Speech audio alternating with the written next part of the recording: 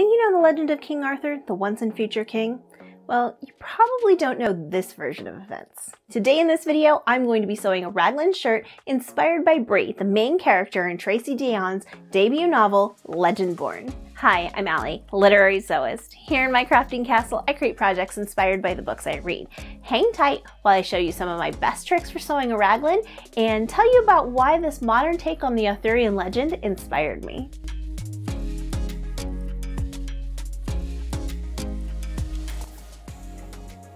While I'm cutting out this pattern, I'm going to tell you a little bit about what this story is about.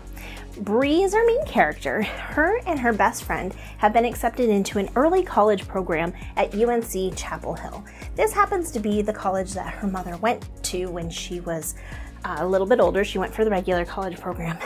However, Bree's mother passed away in a car accident about three months before this story starts. So that's what takes our story off into the direction we are going. On the night before Bree's first day of classes, there's a party. She wants to use this as an excuse to avoid the grief that she's going through. Everything that she's felt since her mother died has really overwhelmed her, and she wanted to just relax and have a night off. So even though they're not supposed to go off campus, she convinces Alice to go off campus with her and they go to this party. So at this party, Bree witnesses a magical attack against some students who don't know what they're seeing. And there's some other students who are fighting back against these creatures and Bree sees what's going on, but she doesn't understand what's going on.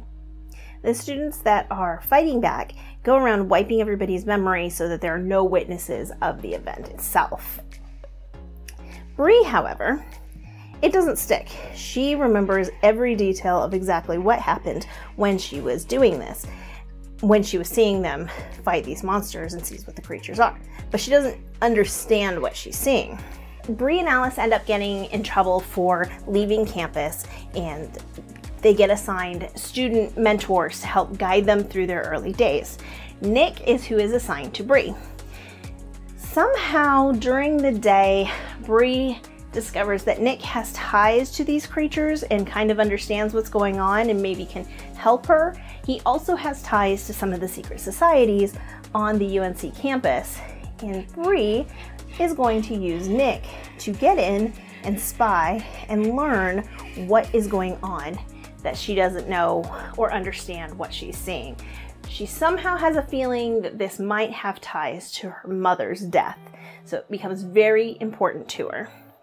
Don't want to give too much away about this story, of course, because, you know, I want everybody to go out and read this book, but it was a lot of fun. One thing I did want to mention, and one thing that inspired this project itself, was Bree and her friend Alice. Alice um, comes from a different heritage background, but they grew up in the same small town. Um, they're both minorities, so they have a lot in common that way. And they bonded over their level of intelligence. They're both extremely smart, grade A student, grade A, A grade students, and they joined this college program together so that they could learn and grow and get outside their small town. And while Bree is dealing with grief, Alice doesn't exactly know what she's going through, but Alice has known her her entire life. So it kind of feels like Alice needs to step up. Alice was a great best friend. One thing that they do with each other is they quote pop culture and literary references, um, and then the other one be like, hey, did you just so and so me? Or like, hey, did you just Jane Bronte me? And it's really cute and adorable, and they do this a few times throughout the story. So it's kind of the inspiration for this project. I will actually be using a quote from the book in a similar manner to that.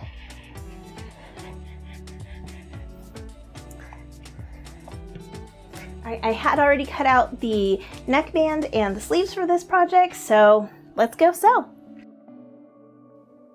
First, let's talk about the raglan armscye. It can't be cut on the fold because the curves are very different. When setting out the pieces, be sure to keep the front and back separate. Marking them with notches, erasable pens, or clips are super helpful for this.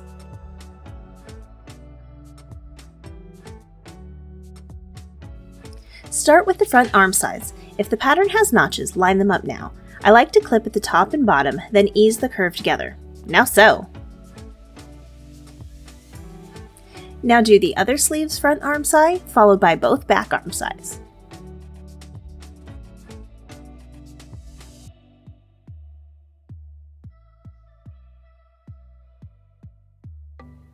Next, you will connect the side seams front and back, connect the joint seam under the arm first, then line up the rest.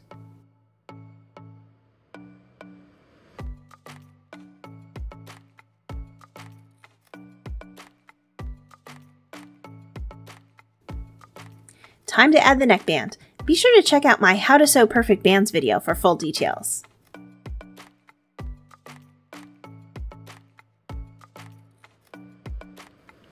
To quarter the neckband of a raglan, first find the center of the front and back panels, then bring those two points together, lining up the front and back until you reach the center sides. All that's left is to sew around the neckband, then hem the sleeves and bottom of the shirt.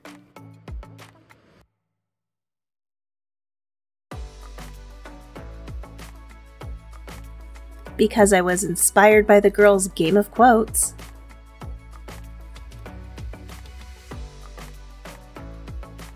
Instead of using vinyl lettering, I used it as a template.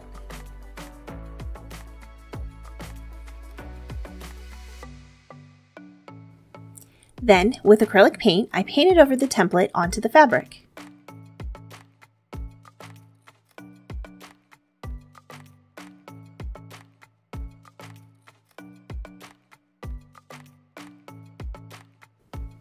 Just be careful not to go over the edges of your template or oversaturate the fabric.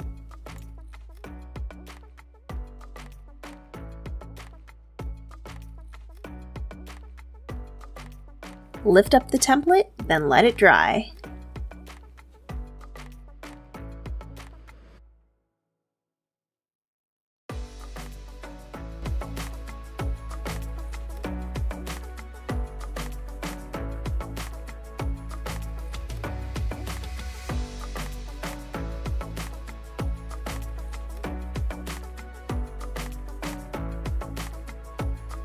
Alright, so now that I've told you about my new quotable raglan shirt and the book that inspired this project, why don't you head over here and check out some more book review inspired sewing projects. And if you haven't already, please subscribe to this channel. I'd love it if you'd also ring the bell so you get notified every time there's a new video uploaded. See you next time.